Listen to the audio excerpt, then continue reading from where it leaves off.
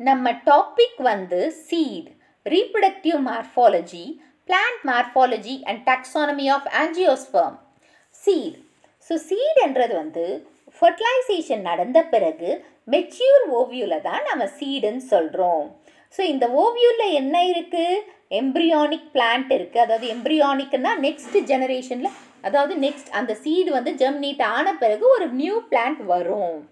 ஓகேவா ஸோ இதில் வந்து ஃபுட்டை ஸ்டோர் பண்ணி வச்சுருக்கு. இதை சுற்றி ஒரு ப்ரொடெக்டிவ் கோட்டும் இருக்குது ஸோ ஃபர்டிலைசேஷன் நடந்த பிறகு நிறைய பார்ட்ஸ் வந்து சேஞ்சஸ் ஆகிட்டு ஒரு சீடாக மாறுது. ஓவியூல் வந்து ஒரு சீடாக மாறுது.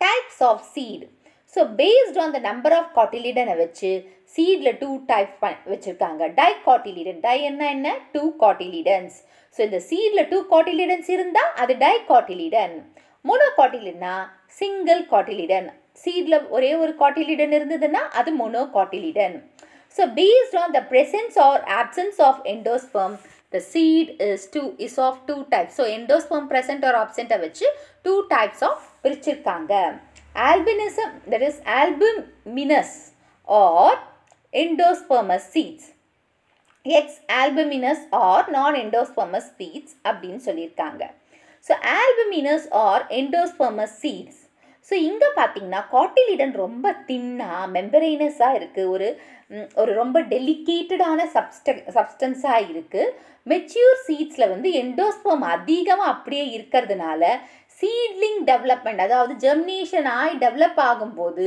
அந்த எண்டோஸ்பம் ஃபுட்டை சப்ளை பண்ணுது. எக்ஸாம்பிள் வந்து கேஸ்டர் ஆமனுக்கு சன்ஃப்ளவர் சூரியகாந்தி மெய்ஸ் மக்காச்சோளம். ஸோ இந்த சீட்ஸில் எல்லாமே எண்டோஸ்பம் இருக்குது எக்ஸ் ஆல்பமினஸ் ஆர் நான் எண்டோஸ்பமஸ் சீட்ஸ்னா ஃபுட்டு வந்து எம்ப்ரியோ டெவலப்மெண்ட்டுக்கே இங்கே எடுத்துடுறாங்க. அந்த எண்டோஸ்பம் வந்து எம்ப்ரியோ டெவலப்மெண்ட்டுக்கே எடுத்துடுறாங்க.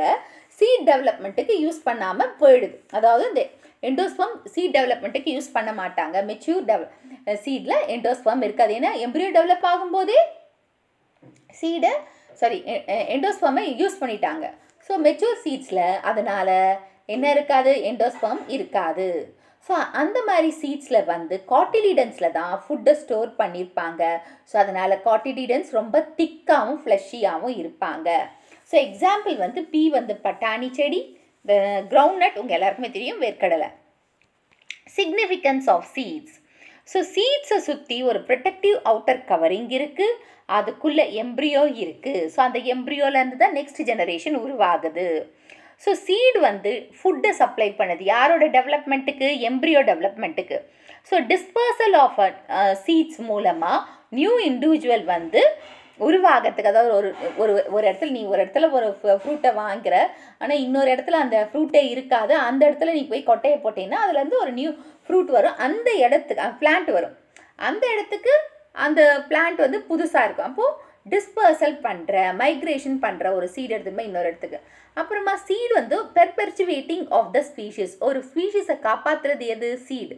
ஸோ அந்த சீடை காப்பாற்றி இந்த அழிகிற மாதிரி இருக்கும்போது அந்த சீட்ஸை நம்ம போட்டோம்னா அந்த ஸ்பீஷீஸை காப்பாற்றிடலாம் ஸோ சில சீட்ஸ்க்கு வந்து இந்த கண்டிஷன் ரொம்ப ரொம்ப ஹாட்டாவோ ரொம்ப கோல்டாவோ இருந்ததுன்னா நம்ம சீட்ஸை வந்து சாயிலில் போட்டிருந்தா கூட ஜெர்மினேட் ஆகாமல் ரெஸ்டிங் பீரியட் போயிடும். டார்மெண்ட்னா ரெஸ்டிங் பீரியட் அதுக்கு எப்போ ஃபேவரபிள் சீசன் வருதோ அப்போ ஜெர்மினேஷன் நடக்கும். ஓகேவா ஸோ இந்த சீட்ஸில் வந்து நிறைய பிளான்ஸ் அதாவது ஃபுட் அதாவது அனிமல்ஸ்க்கும் மென்னுக்கும் இருக்குது அதாவது நம்ம சீட்ஸ் சாப்பிட்றோம் இல்லையா வறுத்து என் வேர்க்கடலையை சாப்பிட்றோம் அப்புறமா அவரைக்காய் சீட்ஸு இந்த மாதிரி நிறைய சீட்ஸை வந்து இது பண்ணுறோம் பலாப்பழம் சீட்ஸு அதெல்லாம் வந்து சாப்பிட்றோம் இல்லையா? அதை தான் சொல்லியிருக்காங்க. ஸோ சீடுக்கு அக்ரிகல்ச்சருக்கு எது தான் பேஸு சீட்ஸ் தான். இப்போ வந்து நெல் போடணும்னா கூட அந்த நெல் விதை நெல்லை போட்டால் தான் நம்மளுக்கு அரிசி கிடைக்குது. So it is a basis for agriculture so sexual ரீப்ரொடக்ஷனோட product எது? சீட்ஸ் ஸோ அந்த சீட்ஸால் நம்மளுக்கு ஜெனட்டிக் வேரியேஷன் தெரியுது. ரீகாம்பினேஷன் ஆஃப் பிளான்ஸ் நிறைய கிடைக்கிறதுக்கு வாய்ப்பு இருக்குது இந்த சீட்ஸ் மூலமாக ஸோ இதுலேருந்து இப்போ படிக்க போகிற இந்த டாப்பிக்லேருந்து ஒன் மார்க் கேட்பாங்க.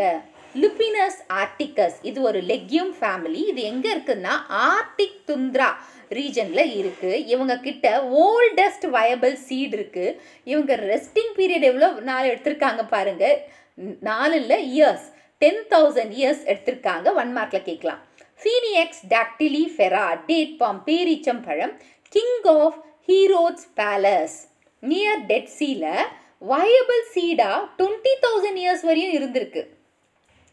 And powdered seeds of Moringa oleifera அதாவது நம்ம முருங்கை மரம் தான். அதோட சீட்ஸை பவுடர் பண்ணி வச்சோம்னா பியூரிஃபை த வாட்டர் ஸோ பியூரிஃபையர்லாம் யூஸ் பண்ணாமையே முருங்கா சீட்ஸை பவுடர் பண்ணி போட்டிங்கன்னா வாட்டர் பியூரிஃபை ஆகிடுமா ஸோ இந்த வீடியோ உங்களுக்கு பிடிச்சிருக்கும் புரிஞ்சிருக்கும்னு நினைக்கிறேன். இந்த வீடியோ உங்களுக்கு பிடிச்சிருந்தா ஒரு like share and subscribe to science easy tech channel இந்த வீடியோவோட இங்கிலீஷ் லிங்கை டிஸ்கிரிப்ஷன் பாக்ஸில் கொடுத்துருக்கேன். நீங்கள் வின்னா போய் பாருங்கள் தேங்க்யூ